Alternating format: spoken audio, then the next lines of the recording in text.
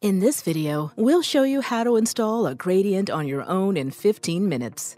Start by setting the indoor bracket. It has a slot where the indoor unit will hang later.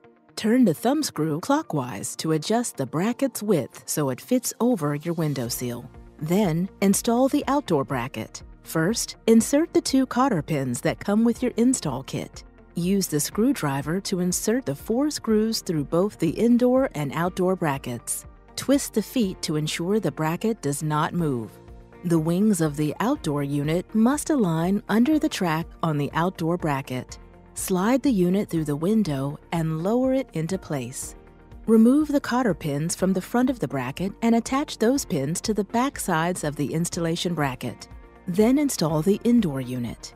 The hook on the back of the indoor unit must line up with the slot on the indoor bracket.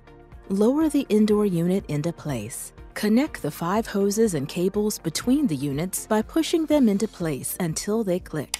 Install the insulating foam to seal your window. Start with the center foam piece. Then seal each side of the unit by putting into place the two adjustable foam pieces. Install the top cover. In its collapsed state, slide it into the pins and push it all the way out so that the rounded edge meets the outside of the outdoor unit. Then slide the inner-facing side of the top cover back until it meets the indoor one and snaps into place.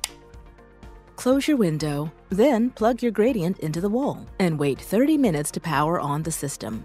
Comfort is now in your control.